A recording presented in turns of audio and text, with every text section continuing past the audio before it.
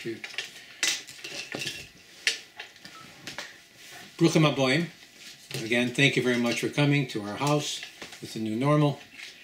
And uh, again, we're between the period between Rosh Hashanah and Yom Kippur. And these are called the 10 days of repentance. So, our lecture today will be only five more days. Five more days to we enter the holiest and the holiest time of the year. Question is, are you ready? Hmm. I wish I could say that I am. What a year. It didn't start that way, not the way that it ended. Who would have believed all those plans, all those worries and concerns? Many people, many have pushed back, of the, many of our plans have been pushed back, and others that seemed so important at the time are no longer relevant.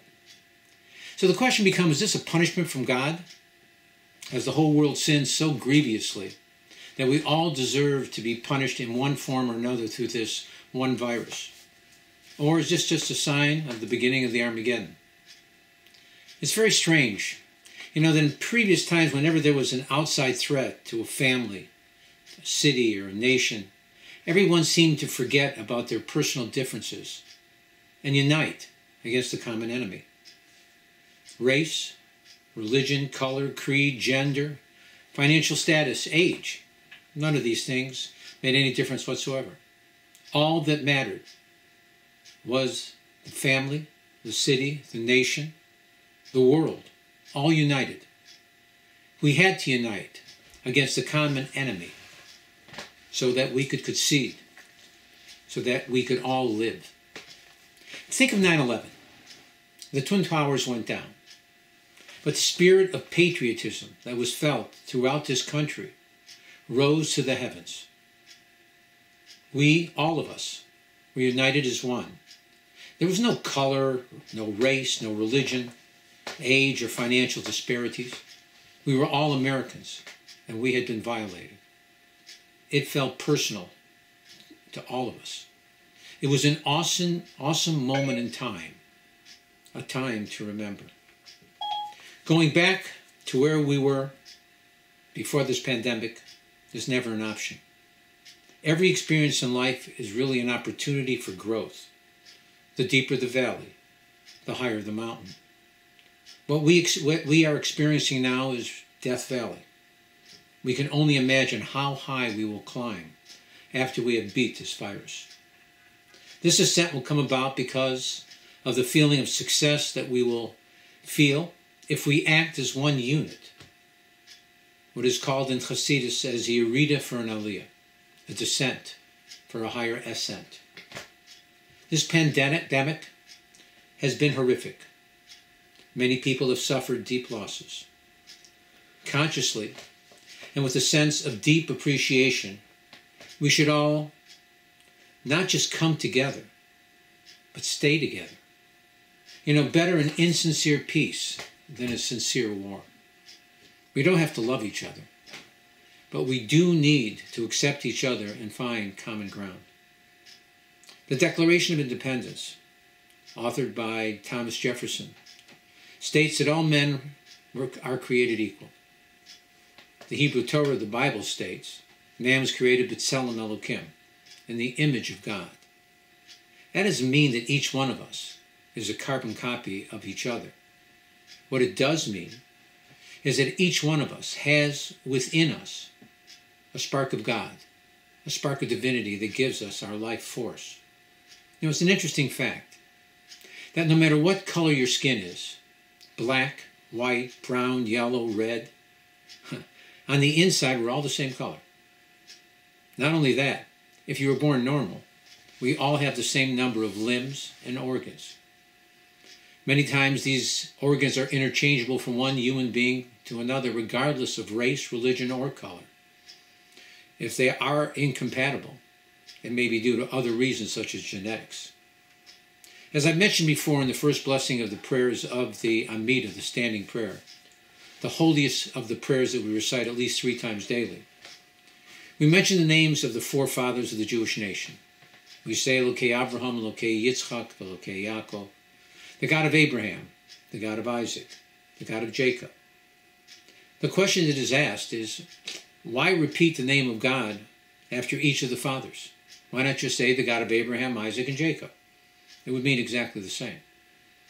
But the wording is very concise, and it teaches us a great lesson in life.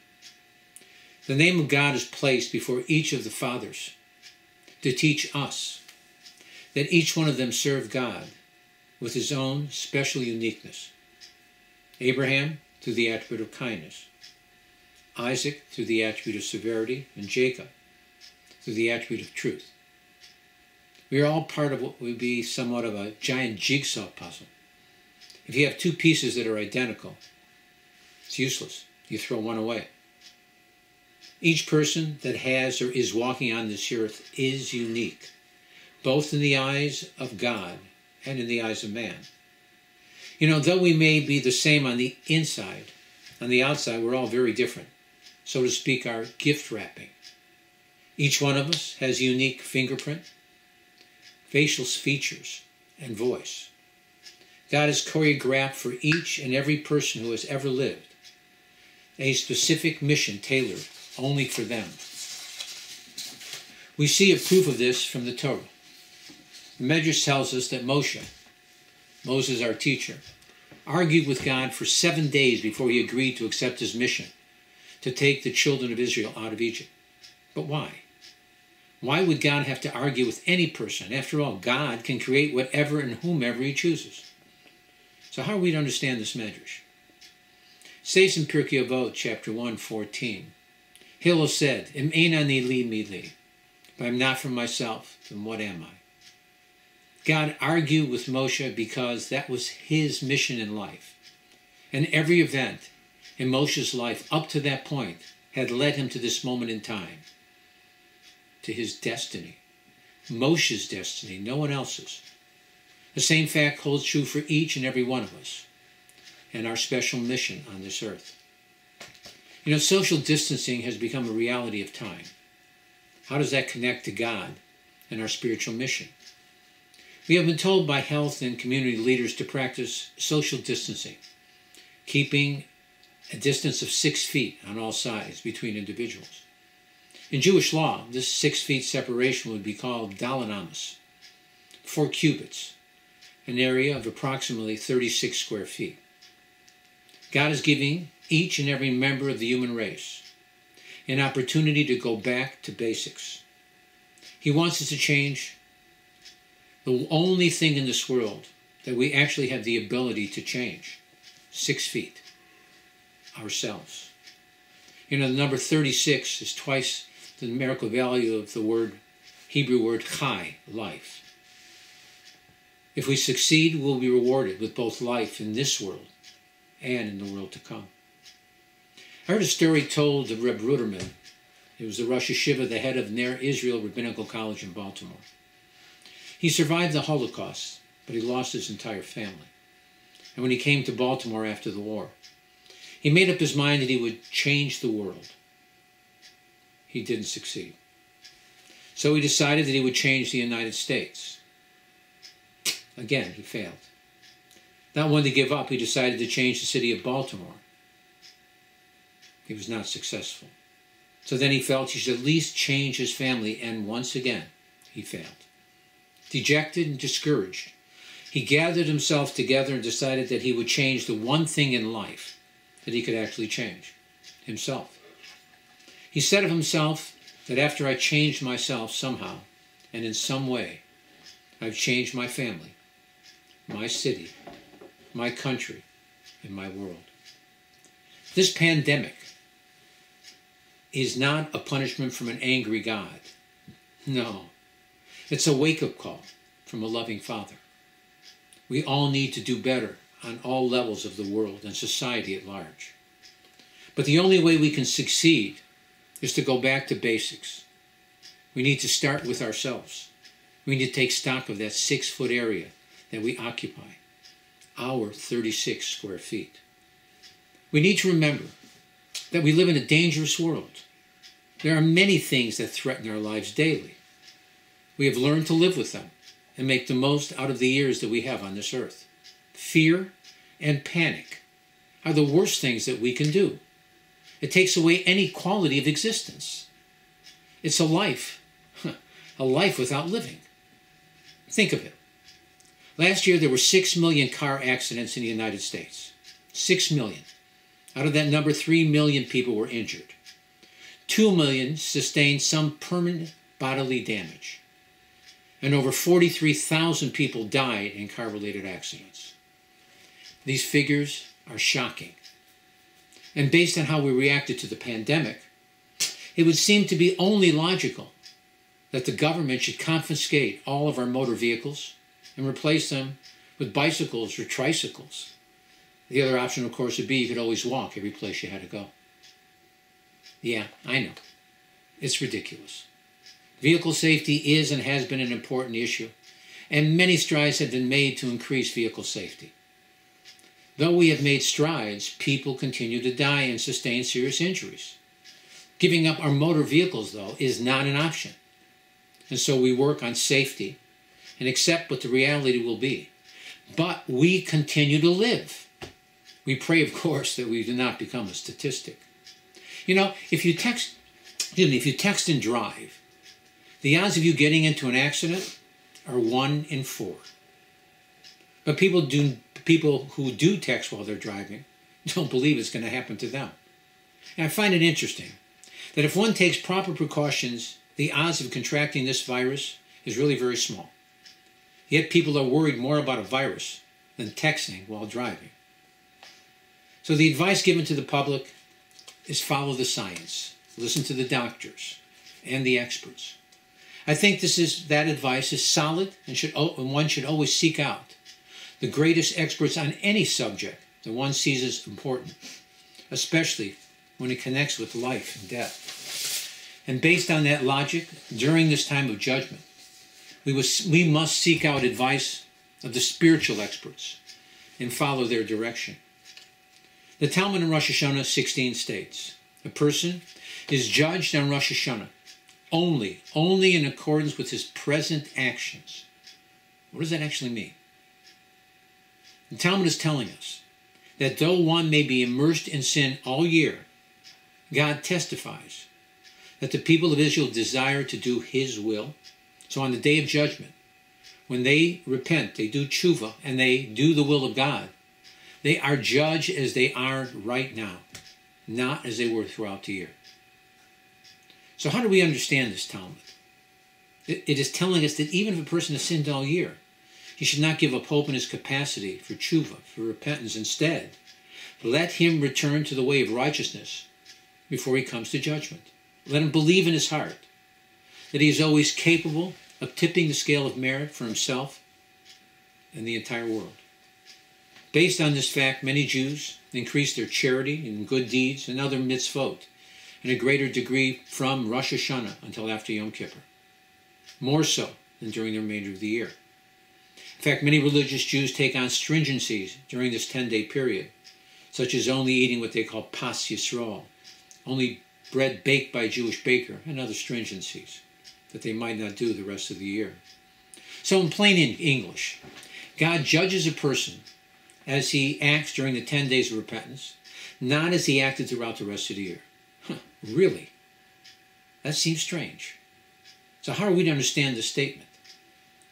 Just be good for 10 days. That's it. You know, it sounds a lot easier than it is. Trying to act like a righteous individual for 10 days. You know, many people may start, but few have the fortitude to stay the course for the whole 10 days. It may seem like an eternity. Okay, it takes some discipline to stay the course, but, but, but what about the rest of the year? You know, they tell a story about a thief who started to have pangs of guilt about his lifestyle and he felt a desire to repent. However, he was logical and, in a crazy way, an honest thief. He went to see a great rabbi and stopped him in the middle of his study hall. The thief told the rabbi that he wanted to do tshuva, he wanted to repent, but he, he said he knew himself and felt that it would be almost impossible for him to keep all 613 commandments, in addition to all the rabbinic decrees that are set. The rabbi nodded, nodded his head and asked the thief, Can you keep one mitzvah? The thief looked at the rabbi in disbelief. one mitzvah? Sure, I can do that. No problem. The rabbi said, Fine. One mitzvah. From now on, you must always tell the truth. You can never lie. The thief looked at the rabbi and said, That's it? The rabbi smiled and nodded his head. The thief left the study hall, happy as a lark. Skip ahead one year. A stranger enters the same study hall of the rabbi. He is wearing a black suit, white shirt, black hat, and has a beard. In short, he was dressed up as a religious Jew. The Hasidim looked slowly, probably closely at him, because there was something about him that looked familiar. He smiled at them and said, Don't you recognize me? He said that he was the same thief that had visited the Rebbe last year. They were really confused. They said, The Rebbe told you that all you have to do is keep one mitzvah. Look at you. You've been completely transformed into a new person. But how? He told them. He said that after he had left the Rebbe, he was on his way to burglarize John's house. On the way, he bumped into his friend Harry. Harry asked him, Where are you going? He was about to make up something. But then he remembered his promise to the Rebbe, and so he told him the truth. He was on his way to burglarize John's house. He continued with the story, and he said, And as I was approaching John's house, I met another friend of mine, and he asked me, Where was I going? And again, I had to tell him the truth. By the time I had told two people about my illegal intentions. so I just went home. Once I stopped lying, somehow it changed my life. and one thing led to another. And here I am, an Orthodox Jew. The power of one, one person, one mitzvah. We can never be sure just which act that we perform in our lives will give us the most benefit. Sometimes the smallest of actions can bring about the greatest of results. We see in the Olympics, one one hundredth of a second can make the difference between receiving a medal or not. To triumph can mean to try with a little more oomph. Today we see the negative power of one, one woman, working in one laboratory, in one city in China, which has infected almost 30 million people worldwide and killed another million. The act of one person has affected the lives of 7.7 billion people, the whole world. We pray to God that one person, the Messiah, will come and counteract all the sickness and negativity in the world and bring peace and joy in its stead. We can also look at these 10 days in a sense as therapeutic, spending these days in a state of spiritual purity, much like going to a health spa, where one would receive treatments whose benefits would extend throughout the whole year. Yet there is yet another way of looking at these 10 days of repentance. Imagine if you saved your money and planned a 10 day vacation.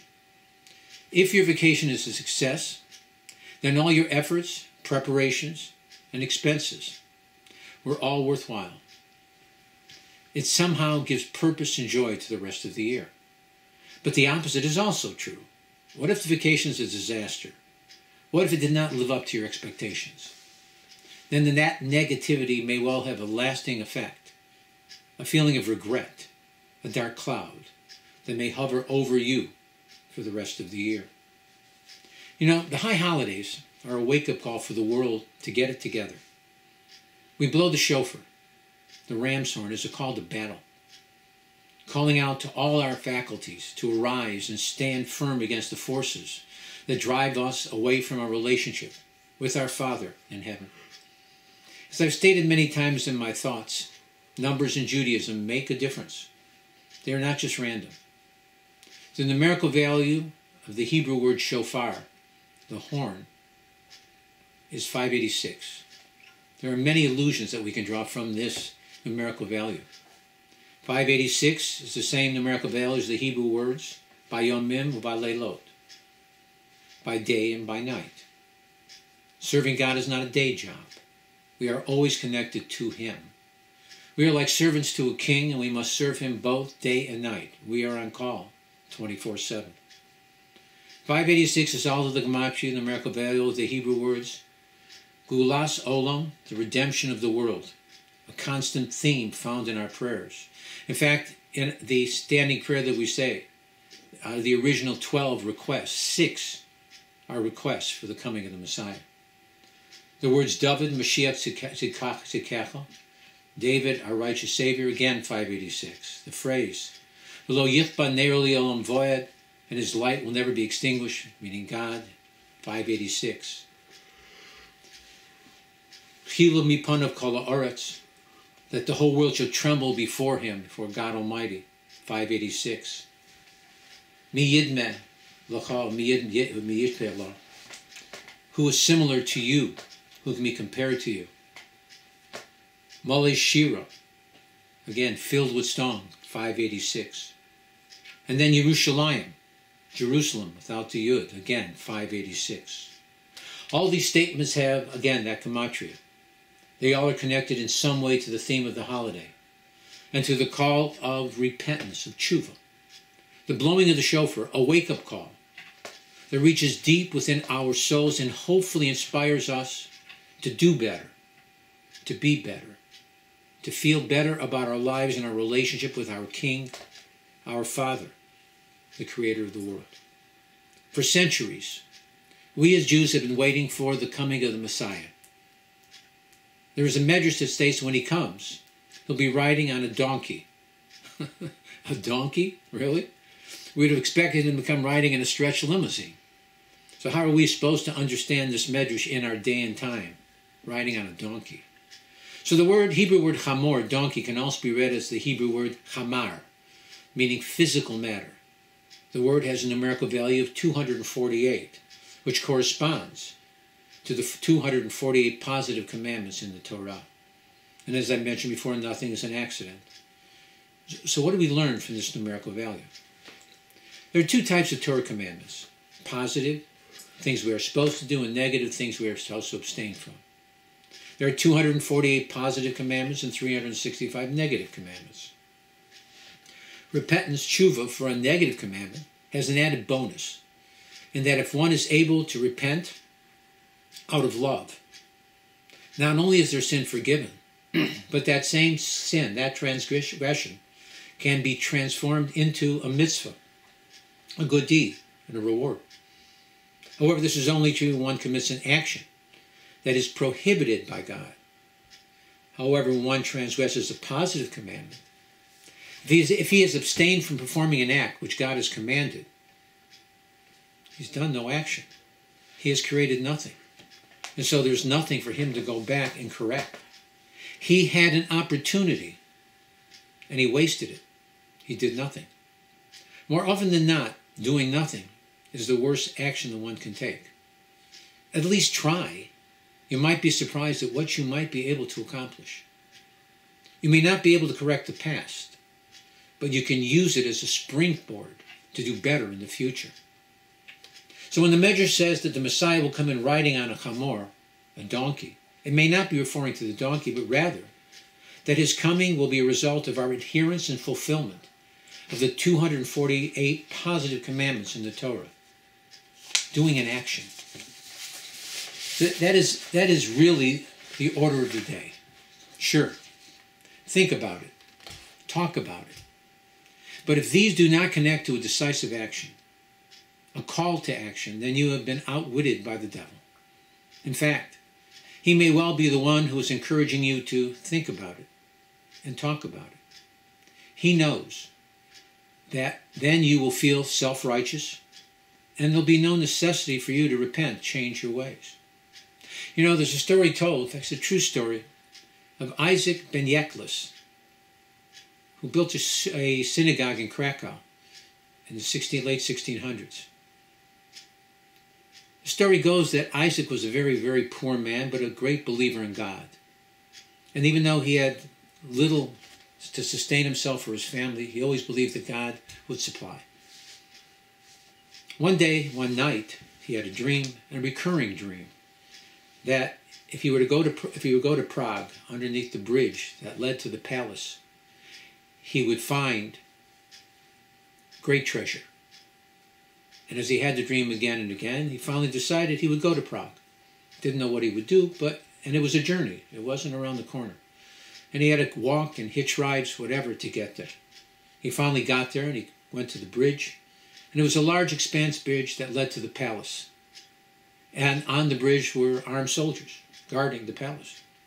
And he came day after day, and finally, after a week, trying to figure out from some sign of what to look for, which he didn't know, the captain of the guard approached Isaac. He said, Sir, I see you here all week. What's your business? Isaac was an honest man. He said, I had a dream that somewhere here under this bridge is my treasure, and I've come. The captain of the guard looked at Isaac and smiled. You fool. I too have had a dream, day after day, night after night. And in my dream, it says that if I go to the house of Isaac, Ben Yeklis, and if I move his stove, underneath his stove, I'll find buried treasure. Do you see me going to find Isaac Ben Yeklis? And as he turned, the captain turned around. Isaac was gone on his way home. And when he got home, without saying anything to his family, he quickly moved over the stove and began to dig. And within a few minutes, he hit something that was hard, and sure enough, there was buried treasure underneath the stove. So both Isaac and the captain of the guard had a dream. They both thought about their dream. In fact, they both talked about it. The captain of the guard, even though his dream contained the information that was necessary to find the treasure, he never acted on it. But Isaac didn't just think or talk about it, he turned his thoughts into action, and he prospered greatly. And so too with our repentance. Thinking about it and talking about it isn't good enough. You are just being outsmarted by the evil inclination. He has convinced you that thinking and talking are enough to wipe away the feelings of guilt and make you feel confident and self righteous. In addition, Praying for ourselves has very little effect, unless they are prayers that are accompanied with true contrition and with tears. We have overdrawn our spiritual bank accounts a long time ago.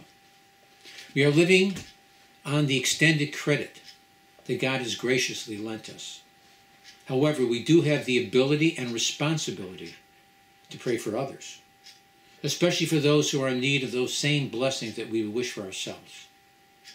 Pray for them Pray for them first, and God may well grant you your needs even before He extends His blessings to them.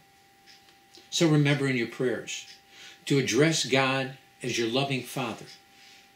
One of the most powerful prayers we recite during the holidays is Avinu Malkeinu, our Father, our King. You know, we may be lacking in our service to our King, and for that we need to repent and try to do better. But in the end, He is our Father. And whether we are good or not, whether we deserve His love and assistance or not, He is our Father. And a father has a responsibility not only to love, but to help his child in any and every way possible. Much like our father Yitzchak, who loved Esau, not for any reason other than he was his son. A father does not need a reason to love his son. In fact, many times. The less the reason, the greater the love, because then there exists a greater need. So, what should our prayers consist of, especially this year? Pray for God. Really, for God. You know, when the Jewish nation was forced to go into exile, so too was the Shekhinah, the divinity of God, forced. It was forced to accompany us into this long exile. We should pray that the Messiah should come so that this exile will end. And then we can all accompany the Shekhinah on its return to Israel with Mashiach Tzidkenu and the final redemption quickly and in our time. Again, thank you very much for listening. We wish you all a happy and healthy year, a successful year, a safe year, but a year that we all grow. We cannot go back to things as normal. Normal wasn't good enough. Again, we need to look within our hearts and to help others as well to see this and try to make the world a better place. A place not only where we can feel comfortable, so too our Father in heaven. Thank you very much. God bless and be well.